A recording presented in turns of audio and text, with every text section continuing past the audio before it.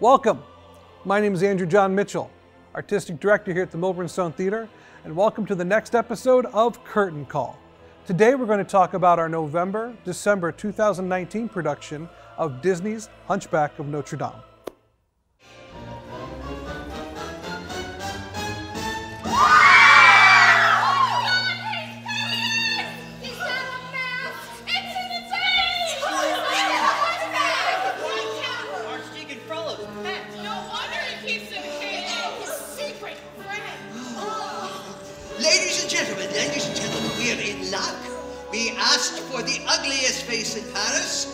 We found him, eh? Quasimodo, the hunchback of Notre Dame. Hi, my name is Andrew John Mitchell, and I'm here with Cara Clase. Cara, who is playing Esmeralda in MST's production of Hunchback of Notre Dame. Cara, now this is your first Milburn Stone Theater production. So It first is, off, yep. Congratulations. Thank you. Uh, where might have MST audiences seen you perform in the past? Well, they would have seen me perform in Wilmington, Delaware. I live in Delaware. So I've performed at the Wilmington Drama League twice. I performed in their production of Cabaret um, a few years back, and then um, just this past spring, I played Aida in Aida. Excellent. Mm-hmm. I actually I did see that production of Cabaret. You were great. Oh, thank you. Um, so you're playing Esmeralda, who is a you know free-spirited gypsy, and also really the center of our story in many ways. Uh, please tell me a little bit about your preparation for the role, and um, uh, how do you see the role of Esmeralda? Well, I think in terms of um, Hunchback, the stage musical, in order to be really prepared for it, you have to do a little bit of homework into um, the Hunchback of Notre Dame, the actual book, because um, the stage musical run is aligned more closely with Victor Hugo's book, more so than the Disney movie that a lot of people are familiar with. So I actually love Victor Hugo's book. I've, I've read it a couple of times. So I sort of revisited that um, to remind myself of what the roots of the story are. And also just really studying um, the musical itself and, and knowing background about the musical. It, it, it was never produced on Broadway, but um, looking sort of into the history of the production and like how it's changed and, and what uh, the creators were going for, I think is a vital part of preparing for um, Hunchback in general, not just the role of Esmeralda. Now, when it comes to Esmeralda, um, she's always been one of my favorite uh, Disney characters, so for me, that wasn't um, too hard of a task. But um, just really going through um, the script, the book, the musical, and, and, and seeing what her character arc is and, and um, understanding uh, why she does what she does and, and um, where she fits in the story of the Hunchback of Notre Dame overall. So, thinking to myself, what do I want to communicate to the audience? What message do I want to give to them via this character? Um, so Esmeralda is a, a very unique and demanding role. You- We kind Mm-hmm. of talked about this a second ago, but what's proven to you to be the most um, difficult part about preparing for Esmeralda, but also, alternatively, what's been the most rewarding part? I think the hardest part for me is uh, when it comes to me as as Cara and Esmeralda the character. There are a couple of uh, personality differences. So I think I'm a little bit more um, skeptical than Esmeralda, where Esmeralda is a very um, open person and she sees um, the best in people, even when a lot of uh, people don't. Um, so trying to be in touch and in tune with that side of her character, I think, was the most challenging for me, so that I would be able to portray it um, genuinely on stage. The most rewarding, probably the same thing. I mean, going through Esmeralda's journey and um, getting to explore that adventurous side. She's she's definitely more adventurous than me. Um, getting to pretend to be that person and actually understanding her character, not making a caricature, but understanding the character of Esmeralda as a gypsy, you know, in France. Um, I, I think it's been a fun process for me. So. Excellent. So uh, Esmeralda does get a couple great songs within Hunchback, some pretty iconic songs too, compared to the canon of uh, what Alan Menken has written. What's your favorite song that you get to sing? Actually, it's a song that I get to sing with uh, Phoebus. It's called Someday. And it's very interesting, the background of that song, because in the Disney movie, uh, it was between God Help the Outcast and Someday. It was going to be one or the other, but they wanted something that was a little softer, so they went with God Help the Outcast. But um, Someday has always been one of my favorite songs. It's still in the Disney movies credits. Um, I just I think it's just so beautiful, and it's in the show. It kind of serves as like that little point of light in a very dark moment of the plot. So it, I just love the song. So, why should audiences come out and see Hunchback here at the Milburn Stone Theater? I think people should, go see Hunchback because it's not the story they're expecting. So, as I said before, um, a lot of people are familiar with the Disney rendition of The Hunchback of Notre Dame. Um, some may not be very familiar with the book or even the stage musical per se.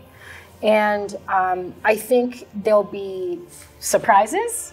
There'll be surprises for the audience um, that they didn't expect, especially those who aren't familiar with the differences between the stage musical and the movie. And also, I just think the message of The Hunchback of Notre Dame is very timely um, in this day and age, and um, especially in a time where we are becoming more open to people with differences and accepting things that maybe socially wasn't acceptable before.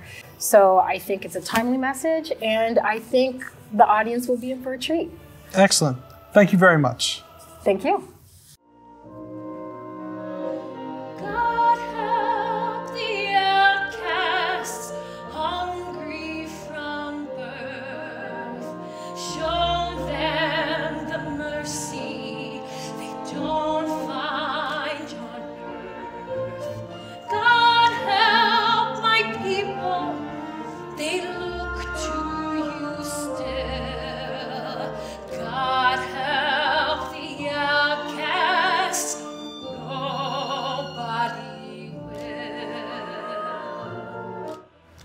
Here I am with Mr. Dale Martin Jr. Mister. Mr. of course, who plays Quasimodo in our production of Hunchback of Notre Dame. Now, Dale, this is not your first trip across our boards here at the Milburn Stone Theater, is it? Nope. Please tell our audience here uh, what show you've done here in the past, or shows I should say, and what roles you've played. Okay, so the very first thing I did was in the producers. I was Scott the choreographer, mm-hmm. so that was fun, um, especially the tights. Me and tights, that's always fun. And then I went on to do Annie, and I was Rooster Hannigan. Mm-hmm. Mm-hmm. There you go. Yeah, so I danced, which that's another fun thing for me. Of course. Yeah, so stretching. Okay, so you are playing Quasimodo in Yeah. Hunchback of Notre Dame. A truly transformational theatrical role in really almost every sense of the word. So tell us a little bit about your process as you took on the role and uh, what you've learned in the role so far. A lot of it has to do with uh, the aspects of his abnormalities. So, whereas, like for example, I played Jekyll and Hyde at one point, and that was pretty much. You could change a voice, you could do a little bit of expression, but with this, you actually have um, thought process where he goes into dream states, where he's talking to inanimate objects, where he's talking as a normal human being, and then he goes into his actual phys- physical uh, imperfections, where he's actually hard of hearing because of the bells, and because of his deformities, he has speech impediments. So to transition those two things was a real challenge as far as that went, but it's been a great time doing it. So Excellent. yeah. So Quasimodo does get to sing some pretty iconic songs in this show. Can you tell us your favorite song to sing? I would say out there, but everybody says out No, there. that's all right. So answer, though. my actual favorite would be Heaven's Light. Okay. Um, I think that brings about a little bit more of what Quasimodo is. It's more of a sensitivity thing. Um, it brings more of a humani- humanistic feeling towards the character. Uh, out there is more of his joy and and just for a character that's perceived as monster, it makes him more human. And I think that's a lot of what the story brings about. So, Excellent. yeah. So Quasimodo is a very physically demanding role. Yeah. There's a lot of movement. There's a lot of you know gestures that have to be made. Mm-hmm. What's been pretty much your most rewarding part of that, and also what's also been the most physically demanding part about that role? Uh, the most rewarding is uh, for me singing the music and being able to express the character. It's just he's such an endearing character. Like you, you can't really hate him, even though he's a monster. It's just that natural thing. And the cartoon animation does a really good job of bringing the more humanistic qualities because he is more human. In this, he actually has those imperfections and flaws that makes it kind of a little more of a stretch, which is making it a challenge. So I did enjoy that. Um, the challenging part for me is just really this has a lot of ensemble pieces that get pieced in and out of sequences, and there's a lot of different people that are involved. And uh, so everybody's really important in this, and you miss something and you're not flowing right that day, it could be a really tough spot for you. So that's the biggest challenge on this for me. Final question: Uh oh. Why should audiences come out to see Hunchback? The story, it's, it's a really endearing story. Um, it's the good and bad in all of us, and somewhere in between you find the light. So uh, that's where I'm at with it. But also the music. It's an amazing score. Uh, this would probably be one of the ones that I would drive down here just to be in the ensemble, for sure. So that's what I have to say about that one. Excellent. Yep. Thank you very much. Hey, thanks. This child is my cross to bear. I may not have saved my brother, but I will save this thing. I'm here right now with Mr. Ed Elder. Ed Elder is playing Frollo in Hunchback of Notre Dame here at the Milburn Stone Theater. Ed, this is not your first trip across our boards, as I like to say. uh, please uh, let our audience know, or how about remind our audience about the last role you played here at the Milburn Stone Theater. I, uh, actually, well, the first production I was in was uh, Seussical. I was General Genghis Khan Schmitz. And then uh, last Christmas, I played Drake in Annie. So, Ed, you're playing Archdeacon Claude Frollo in Hunchback. Uh, playing a villain is often a fun and rewarding challenge. Tell me a little bit about your process uh, for the role, and also, how do you see Frollo? Is he a villain?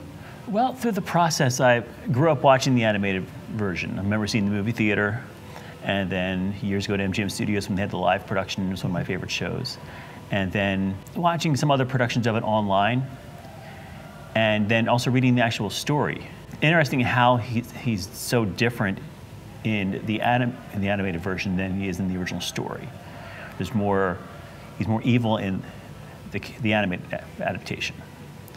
And I was just, after reading the story, trying to bring more of a human quality to him that he's not as evil as he is, everybody thinks he is. He's more or less, he's flawed, he's a flawed human. Um, and it's just through thinking that he's the, what he thinks is always right. Uh, so, you know, Hunchback's filled with these, you know, wonderful stories and wonderful songs. Do you have a favorite song in the show? I would say, uh, singing wise or performing wise, It's up to you. you. It's either one of yours or it could be anybody else's too. um, I would probably say, hearing singing wise would definitely be would be- Hellfire. To me, that's one of the most iconic villain songs that, that has ever been in any anything with Disney. I mean, before with Lion I thought Pre Prepared was the best song. Then with Hunchback, it's like no, that Hellfire blew it out of the water. And it's just incredible in that song to see him slowly descend more into the madness that's occurring because of the lust and what he feels for Esmeralda. Otherwise, the other one of the other songs that I enjoy he- hearing performing is actually um, "God Help the Outcast." I, Cara, who's playing her Esmeralda, she does a fantastic version of it, and the ensemble sounds fantastic. And then there's also a couple, couple of the congregants actually do something which I can't give away. You have to see the you have to see the production, but they do something during that song which I think is very beautiful. That kind of leads me into my next question for you. Without giving away any spoilers, do you have a favorite moment in the show you'd like to share? Let's see. Oh, there, there are there are quite a lot. Um, anytime, truthfully, I get I get the chance to share the stage with Quasimodo or Esmeralda.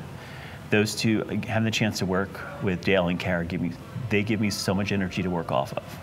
And it's just a pleasure to work with them. Okay, final question here. Right. Why should audiences come out to see Hunchback of Notre Dame?